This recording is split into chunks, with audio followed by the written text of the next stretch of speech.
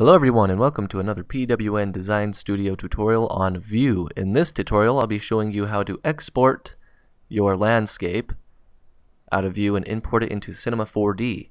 And then I have a little bit of a trick in store for you guys, something that will really make you guys happy, uh, for those who actually really care anyways, um, towards the end. So here's Vue, and I created just a, a simple little a terrain here just to show you what we can do and uh, it's a procedural terrain. And if I open this, and we'll just open up the uh, terrain editor. I like saying landscape because some people have said that I slur my R's in terrain and it doesn't sound very good. So I'm just going to say landscape ed editor. And this is my landscape. It's uh, not, you know, it's it's good. It's not bad. It's just, um, you know, a regular view. Um, or Vue uh, landscape. And you'll see that I increase the resolution here. Well, I want to do that because when I export my, my scene here, or my landscape, out of a, a Vue and import it into Cinema 4D, Cinema 4D is going to look at it as a standard terrain. So I want as much detail quality as I can have. Uh, so I, I, I took it up to 2048 because it can take quite a long time to export the landscape um, especially on slower computers. On mine, it exported pretty quickly, uh, but I have my computer computer built uh, to handle this kind of calculation rather quickly. So it didn't take very long. It took maybe uh, like a minute or less to export just the landscape. But I also exported the material map that I have placed on the landscape. And so you're going to want to raise the resolution to where you want it. And then when you're done, you just go to export terrain. And then from here, you just browse to where you want to export it. And you can name it what you want. And if you're using Cinema 4D, you choose the Cinema 4D preset. If you're using 3ds Max, you use the 3ds Max preset. So on and so forth. You just choose whichever option you want to, to use. Uh, for this one, I'm using Cinema 4D, so I exported it as Cinema 4D. I'm not going to do it again because I have already done that. And here I generated the maps um, I made mine in the last one, the last export I did as PNG. Uh, it'll default the bump map here, or bitmap here, and I just raised the uh, map resolution to the same as my terrain. After that, you can also, one more thing, you can also change the mesh resolution here. I just changed it all the way to high, and then you click OK, and then it'll uh, export your scene out, along with your maps. Uh, just a disclaimer here, if you are generating your maps, it does take a lot longer for Vue to export your uh, landscape with the maps. So if you have your landscape already textured and have all the materials you, you need, um, then you can export the maps. But think about it this way. Vue needs to export these maps at this resolution, so this is like rendering out a still image at 2048 by 2048. So Vue has to go through and actually render out all those uh, images that you're exporting, like the color map and the bump map. So if your computer is really slow at rendering um, still images, you you may want to hold off on doing this and just use different texture maps from you know your own collection. Uh, but this is definitely something you can do, and I recommend doing it if you can. Though that's just the disclaimer, and that's what it's like. I'm not sure if that's exactly how it is, but that's to me that's what it's like. Vue needs to actually render these two images out separately, um, and then it has to export them. So it can take a long time. So I just wanted to let you guys know that. So like I said, I already have it exported. So just build your landscape here, raise the raise the resolution where you want it to be, export it to uh, the format that you prefer, and then you're done. That's all there is to it. You can put Vue down. You can so there's the material that I have on there uh, and I'll show you that uh, it does work. So here's Cinema 4D and here's the material that was rendered with it. Also, this is what it's going to look like. So I have the text files here. This is the bump map, the bump maps, and these are the color maps. And Cinema, if you exported Cinema 4D, it, it's probably the same thing with uh, 3ds Max. It'll automatically apply these texture maps and color maps to your material for Cinema 4D when you import or open that Cinema 4D file that you exported from Vue. So you don't have to do any manual work here. Uh, it's pretty easy, though you can. And the way you would do that is you go to create new material and here's the new material. Just double click on that and this is the material editor. It's super easy. Uh, this isn't a tutorial on Cinema 4D, but I will show you how to use this just because it's really important if you uh, happen to have any issues importing your own textures. You just choose which ones you want here, so you just put a check mark in all the little boxes that you want. Color, obviously, just is the color texture. Um, then there's the bump, which is obviously just the bump texture. And then there's the normal maps. If you export normal maps, you can use those. There's the specular map, so on and so forth. And you just highlight whichever option you want to change, and it gives you all the settings that you can change. From here, you just load up under texture, you just load up your file, and you're good to go. That's how you would make a new material, and you do that for all of those different options. Any of these options that you know you have a texture for, you can load up a texture and be on your way. Thankfully, that is not the case here because Cinema 4D did it all for me automatically. So that's good. When you first import your scene, it might come in a little flat. Uh, you, your mountains might not be as tall. You know, it'll be just like a nice flat uh, object. The way you would change that is you use the scaling tool right here. So there's the scale tool. Make sure you have your landscape selected and you'll get these uh, little gizmos. And for me, and it might be for you, when I first try to change my scale of my terrain, it takes a little bit of a time, little bit of time for Cinema 4D to catch up. So I just grab the gizmo. This one will stretch it upwards, uh, and not outwards, but maybe just upwards. And when I click it and I drag up, you'll see that it disappears and it takes a little bit for Cinema 4D to update. Just give it a little bit of time and you'll get this option right here where it actually scales up and down um, and it gives you the percentage of what you're scaling it to. Uh, I scaled it up to about 600% and it came into where I wanted it so I'm just going to leave it where it's at now and when you let go it'll update just give it a little bit of time and it'll update. This won't take nearly as long if you have a lower resolution mesh but I have a higher resolution mesh so it, it takes a bit of time. The next thing that you can do is you can load in lights into your landscape or you can just put in a sky. So the way you could do that is I believe under here if you click and hold where this uh, plane or floor object is you have the sky object and that'll put it in your scene but it doesn't really do much good to just throw that in there because it's not really changing any anything. So if I go here to uh, render, and I'm just going to render a region. I'm going to get a little bit of terrain and a lot of sky, and I'll just let Cinema 4D prepare it. You can see it right there. It's preparing to render. And when it's done preparing, you'll start, you'll render out this area and you'll be able to see what's happening. And these little boxes right here indicate that it's rendering. And typically the boxes will go around in a circle like this and render out. Uh, but you can see the bump map's working because we get a nice bumpy material and the color map is working because the, the color's coming in accurately uh, but there's no sky there's nothing here. Well you have to make a material for the sky so you can create new material and right there under matte is where you're going to want to double click and load up a material for your sky. So I already have one here and we want to not check color, don't check specular, but do check luminance. And in the luminance is where you're going to want to load that texture. And what you can use is uh, an HDRI image, which is just a high dy dynamic range image, and it can be the actual HDRI format. I have a JPEG one here. Recommended using H the actual HDRI um, format. I believe Cinema 4D supports the .exr format as well and the .float format, but I could be wrong on that. But I just have a JPEG right here, and this will do just fine, hopefully. And you'll see here that it loads in that sky map or that HDRI image.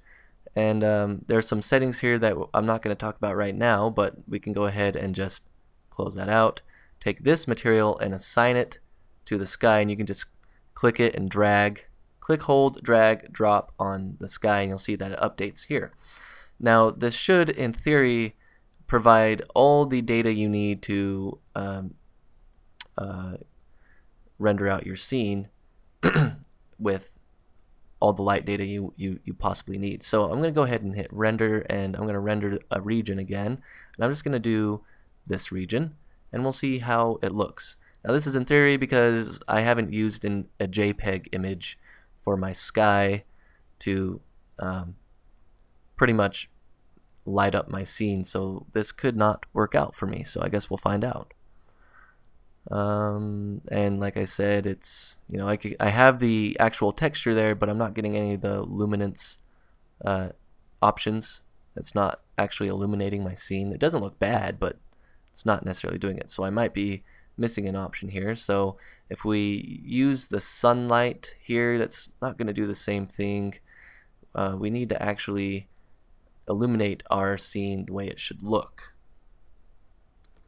So I'm, I'm thinking that the JPEG file isn't necessarily working uh, and it needs to be a .hdri image. So I'll, I'll show you why I got confused here, why it would work here and not in the little tidbit that I have at the end for you. Um, and that's because it works in that little tidbit. It accurately illuminates the scene as well as the shadows, but it just doesn't do it in Cinema 4D. So here I'm going to get a different image. I'm going to actually get a HDRI image to implement in here. And so I loaded one up just right here. From your uh, Windows Explorer window, you can actually grab content.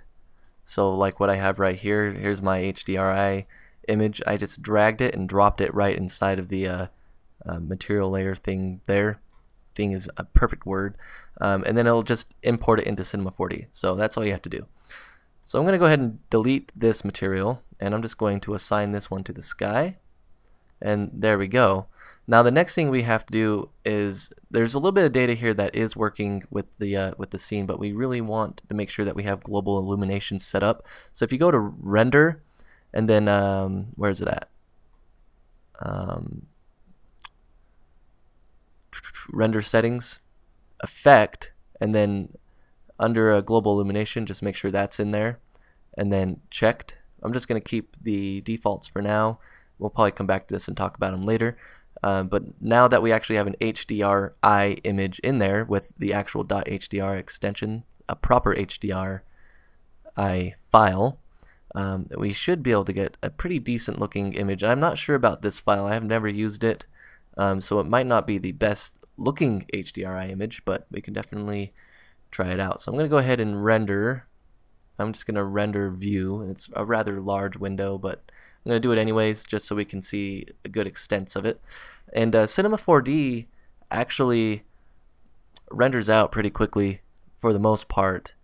Uh, a, lot faster than Vue, but Vue does uh, Vue's going through all those little calculations, uh, like the infinite calculations for the fractal and everything. So there is a cutoff point for detail with Cinema 4D, whereas with Vue there really isn't. You limit it yourself. So don't think for a second that Vue is a, a bad renderer because it's not. Uh, it's just you know has more calculation to do. And now you can really see that our landscape that we imported from Vue is definitely getting uh, lit by this HDRI image. However, it's really dark because uh, it's just a dark HDRI image. Uh, but now you can really see the detail in the bump. Uh, maybe not so much the color, but there are these little uh, lighter and darker areas of the texture that I exported. So it, it looks, overall, it looks pretty decent. Uh, we can play with the HDRI image if we want. It's not necessarily something that we have to do right now just because you know, we're playing around with something else here. Um, but if you use Vue xStream, you don't have to use an HDRI image. You don't even have to use uh, a sky. You can just delete that, and in here you can actually load up an atmosphere with the Vue xStream plugin. So it, when you use Vue-related objects inside Cinema 4D, it does render out inside of Vue. So Cinema 4D objects get rendered out in C4D, and Vue objects get rendered out in Vue. I believe that's how it works. So here we can actually load up, you know, I'm going to load an atmosphere. One that I already created. And I'll just use this one, for instance. And right here it's just asking me if I want to restore these preferences based on my settings. I'm just going to say yes, restore them afterwards. And this is going to ask you if you want to go see uh, how to set up a proper exposure, I'm going to say no, because if I click yes, it's going to open up a Windows or Internet window, and I don't want to do that. You can really see the detail in the train right here inside Cinema 4D, so it actually looks really good. So now if I render out this view, I might have to play with the settings a bit. I can create my own atmosphere if I wanted. Uh, I just loaded a preset, one of my own. So we'll see how this is uh, illuminated and how it looks, and we'll just do an entire render. This might take a little bit longer because now we're having to include Vue on the render. So we'll find out. This will be a good test.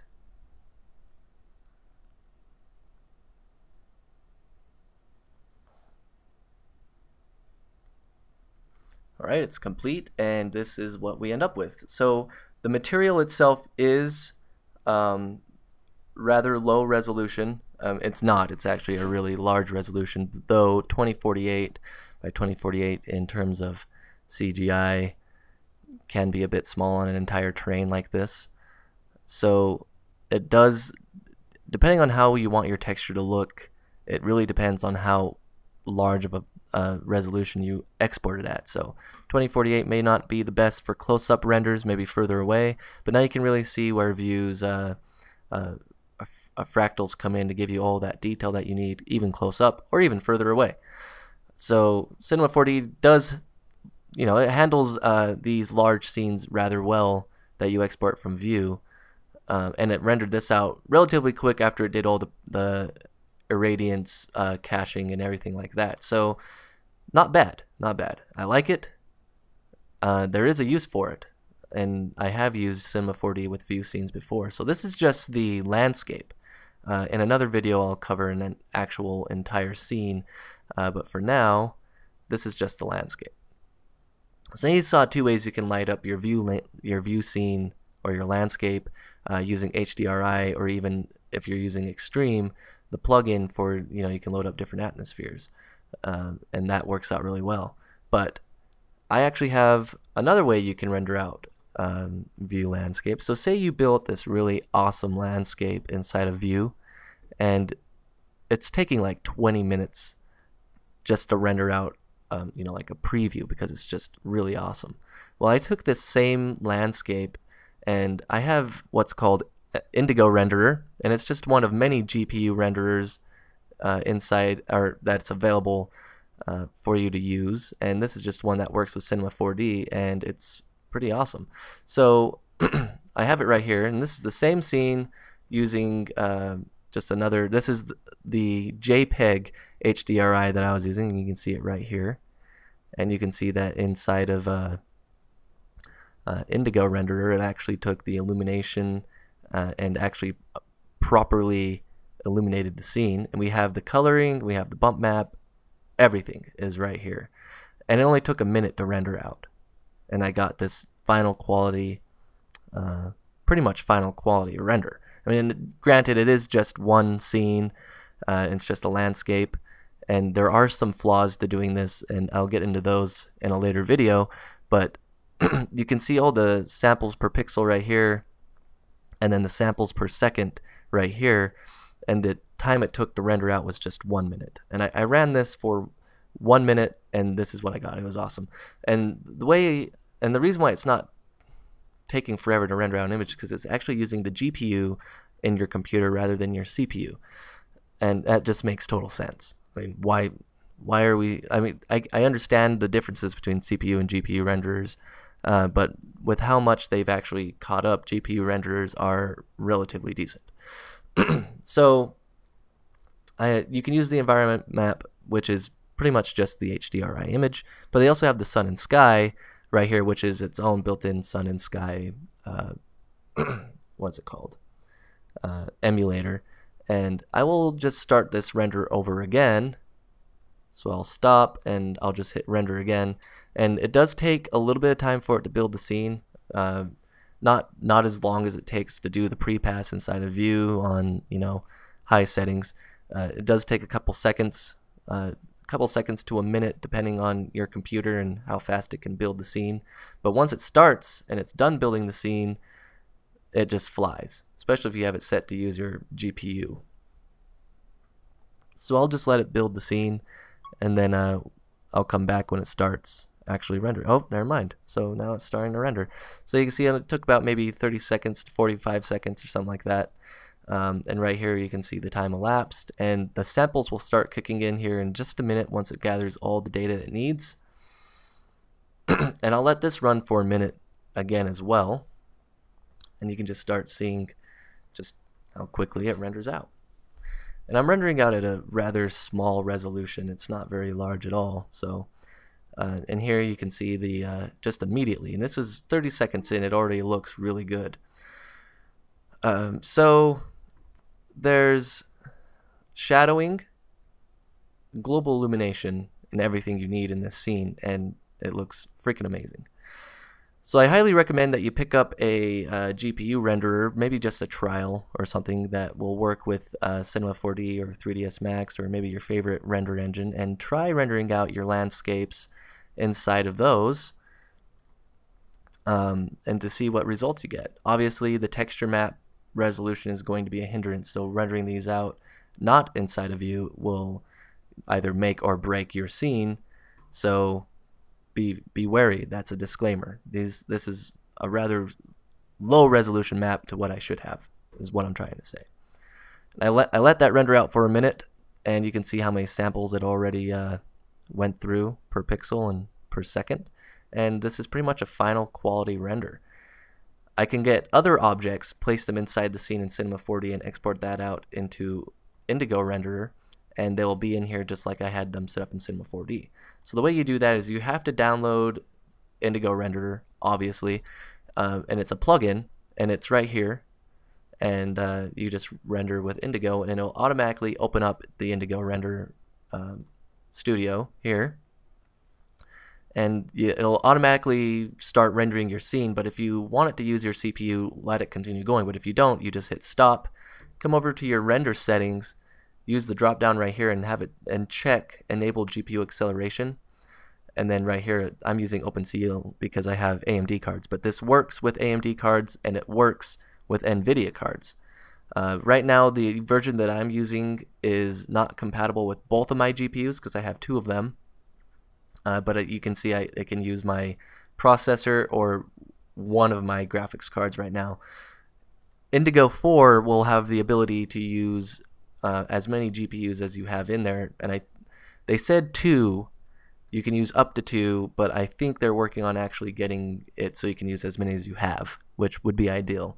I have two, so in the new one that will be launching hopefully soon, I'll be able to use both. Uh, now, Indigo Renderer is, I would say it's a smaller render compared to other um, uh, GPU render applications out there. So there's one by Otoy uh, Otoy makes a really good one called Octane Renderer, which they are actually implementing OpenCL support now. So I'll be able to use that with my AMD cards. So maybe I'll go back to them because I, I purchased it a long time ago and and I loved it. It was awesome. But I switched AMD from NVIDIA and I couldn't use it anymore. That's why I have Indigo. Uh, but they're implementing OpenCL and they can use both GPUs already with this new update coming out. It's not out yet, but it's coming. Uh, so there's that fast, speedy render with my landscape. I love the way it looks. Uh, I could add a few more things here and there and make it look really sweet. Uh, but that pretty much concludes the tutorial here. I just kind of want to recap what I did so uh, so you can you know understand a little bit more fully. I just created my terrain inside of Vue. I kept it as a procedural landscape and I just raised the resolution of my landscape to the resolution that I needed it to be at. So if I knew I needed a 512 by 512 resolution landscape, I would just increase or decrease this to what I need it to. And then I exported it using the export option here, changed it to where I wanted to export it to, made sure I set it at the preset I want. You can even do OBJ if you wanted, but I did Cinema 4D. And I also generated the maps, which look good, not great, but they're better than nothing. You don't have to do this, but you can. I just made sure that I had this slider all the way up to high and uh, exported it. And then inside of Cinema 4D, you can either double click the exported file from Vue, or you can just come into Cinema 4D, File, Open, and open it from there, right here. And it should automatically load Then you have to deal with the scaling issue, which hopefully you remember how you'll do that. You just use the scaling tool here and make sure that your landscape is selected and use these gizmos. And uh, that's it. And then we just kind of went over the lighting options that you have. So you can either use the sky option or you can actually use the Vue option right here where you can load an atmosphere uh, or even create an atmosphere if you wanted using the atmosphere editor. And it's just the same thing I don't want to go over this because, I mean, if you've been using Vue, then you know exactly how this works. So there's that. And they even have the photometric option right here. So if you wanted to use the photometric spectral option, you definitely could, or you can just use standard. And uh, yeah, you just do exactly what you want. You can load in the clouds. Pretty cool. Thank you for watching. Please rate, comment, and subscribe. Share if you would like to your friends. Uh, and uh, we hope to see you again soon at the next video. Also, one more thing visit www.pwndesign.com. Thank you. Bye.